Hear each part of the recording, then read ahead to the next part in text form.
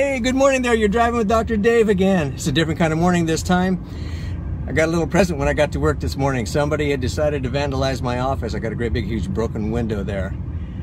I do have an alarm system, so maybe that deterred them. And I want to give a shout out to my buddy Ron Smith who puts in my alarms and watches my place so carefully for me. But it's no fun. You got to go out there and clean up that big old mess of broken glass and take it in. And brought it over here to my other friend, Dan Gerald, over here at City Glass. I'm getting everybody a commercial today.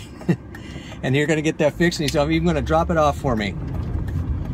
So all in all, it came out pretty easy from what it could have been. So going back to work, heading up the day, and I'll tell you what, with that glass window gone, it sure looks clean. so this is Dr. Dave.